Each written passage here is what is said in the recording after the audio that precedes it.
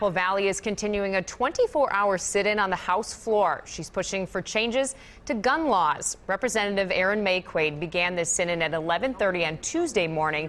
The Apple Valley Democrat is demanding that several gun reform bills at least go up for a vote before lawmakers. At least 26 different gun safety bills have been introduced in 2018, including measures on universal background checks. Only two of those got a hearing, and they were both defeated.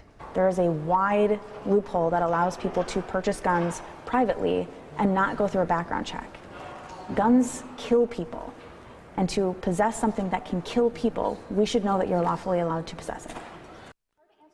The day long sit in has drawn the respect of pro gun advocates, but not their support when it comes to voting on gun bills. Criminals are already circumventing the current background check process to acquire firearms. Adding additional layers to that is only going to affect law abiding citizens, not criminals.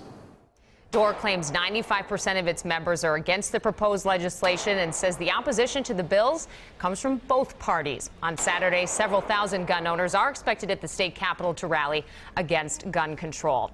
Now, throughout her sit in, Representative Maye Quade is reading the names and stories of gun violence victims in our state. She said even if this sit in does nothing for the legislation, at least she will be able to tell those stories. Esme joins us once again. Very dramatic, getting a lot Absolutely. of headlines, news coverage.